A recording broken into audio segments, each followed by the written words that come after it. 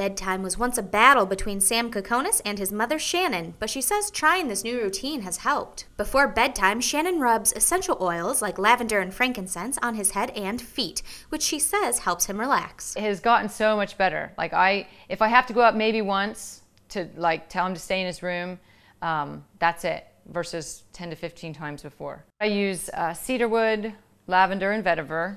Vetiver is really good for calming him quickly. It's a good oil for us. Throughout history, essential oils were used as topical treatments and remedies. Nowadays, they are normally massaged into the skin and used for relaxation. Parents of children with autism spectrum disorder have taken to the internet to talk about how the use of these oils helps their kids relax, especially through daily transitions like between dinner time and bedtime. Now, researchers are putting that theory to the test. We are offering the topical method for all children in the morning.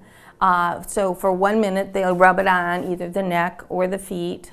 And in the evening, all the children will get a diffuser and, it, and the oils will be diffused in the bedroom. After that, they use a device that looks like a watch to measure sleep patterns. They'll collect data from the children for a few weeks while they're using oils and a few weeks while they're not using oils, and then compare. The researchers hope to provide parents with evidence based data to help inform them on the safety and effectiveness of this oil therapy. Reporting for ABC 10 and the CW5, I'm Sarah Mack.